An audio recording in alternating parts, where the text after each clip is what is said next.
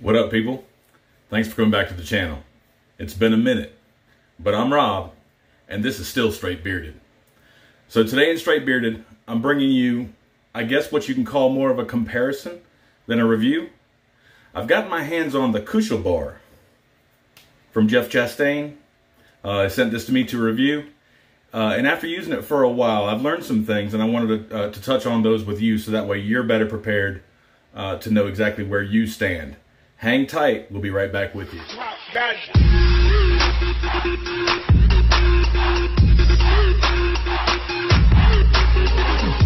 right. So like I said, this is going to be more of a comparison than a review. There's plenty of uh, full-fledged reviews out there on the Kuschelbär, uh, but I've discovered a few things that I just wanted to go over with you. So I'm going to go ahead and get to that. So apologies, but there's a purpose. I'm coming to you with complete and total 100% bed beard. So I want to go ahead and get started first by just putting some oil in, but there's two there's there's two uh, two products that I want to compare, and I'll get to those in just a second. Just put a little bit in my beard as a heat shield. Hadn't even run a brush through it yet. I probably should have done that first, but we'll get this in and on. All right. So I've been using another straightener for a while that I got from Sally's Beauty Supply. We have one right here in town but you can also get it online. Uh, I want to compare these two. So we have the Kuschelbär from Jeff Chastain, and I have what is called the Ion, or it's from Ion, but it's a heat straightener brush. And if you can see, they're virtually the same. It seems like the Ion may have just a little bit more reach as far as brush, brush and tines. Uh, but these are what we're comparing. They're pretty doggone close. The, uh, the heat sink in those are virtually the same length. What you see standing on top is, uh, is just extra bristles that don't provide heat, but their heat sink appears to be about the same. So want to compare these two. Now, mind you, the Kuschelbär is $100 uh, from, from Jeff Chastain, or Amazon actually, and the Ion from Sally Beauty Supply, I'll link it below, is 25 bucks. So virtually the same. A couple of differences I'll go over is that, we'll talk about the Ion first. So the Ion has that, that little swivel uh, power adapter that goes into the unit itself. I have two heat settings, a low and a high. The low is at 375 degrees and the high is at or around 400 degrees. Now, the Kuschelbär is no extra settings or anything it's at 374 degrees. So I'm going to operate this one on low and this one just on 374, 375. Virtually the same. So I think it's safe for me to tell you that since I've been using these a little bit more than I have lately, I've noticed a lot more hair loss, a lot more shedding of my beard. And I'm attributing that not to the Kuschelbär specifically, but just using that kind of heat for that kind of time. Uh, I think this is going to be the very last time for this, this video is going to be the very last time that I ever straighten my beard ever.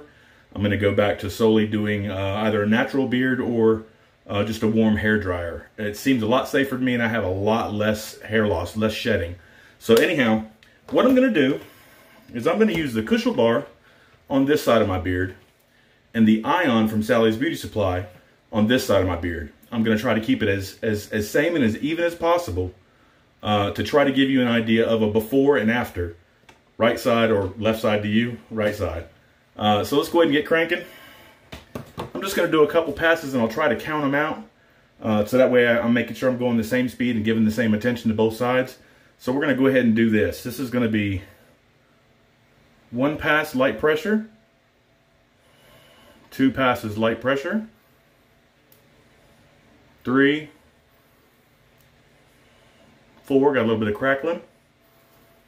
Five, and we'll go back again. One, two, three, four, five. We'll leave the mustache out of it for this for this purpose. Now we're going to use the ion on the other side. One, two, three, four,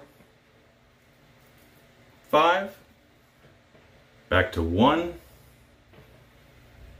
two, three, four, five. Now I notice that when I'm using these, um, it doesn't feel like it's getting a, an entire bite on my hair. It's just straightening the just the outside hair. So what I normally do is go underneath and apply pressure, and I'll show you how I've been doing that. Uh, so I'll do one, and I'm holding that, trying not to burn myself. Two, you can see that. Three, four, five. Same thing on the other side. A little bit of burn on that one. Touching this one's a lot easier to get burnt on the on the coils itself. That was one, two, three, four, five. All right, now I think that's probably enough for now. Let's see what we look like. So a couple things, and I'll probably give each each a pass, just one more pass of maybe four. One, two, three. If you notice, I'm not getting a full bite on that hair. It's just getting the outside. So there's four on that side. And one, two, three, four. Just a very basic quick straightening. Try to comb it evenly. Boy, those things put out some heat. So if you see, if you can see real close, you can kind of judge for yourself. Uh, but I can see in the mirror that it's virtually, virtually the same performance.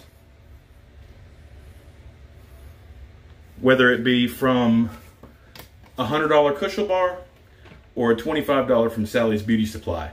Now, mind you, I just went quick passes we kept everything even Steven. So the Kuschelbär, I have a hard time burning myself touching the uh, the tines, the heat, the heat elements. But the back of this thing is super, like super hot. I can't hold it more than a second or two. Um, another positive about this is that it has an auto shut-off feature, which is really, really important to me. Uh, that's really nice to have, but we don't have the swivel on the Kuschelbär. All right, so we got auto shut-off, great point we have tines aren't hot. Um, and the negatives are that we uh, the back is extremely hot and we don't have the swivel power, power adapter. 25 bucks. If you touch these tines, or if you get your hands in there, chances are you will burn yourself. Um, we do have swivel, and we have an off, on, or excuse me, an off, low, and high. Uh, and that low is right in keeping with, with the temperature that Kuschelbär runs theirs uh, but it does not have an auto shut-off feature. Uh, I do have a nice handle here that stays cool. It's completely cool. The back of this uh, is cool.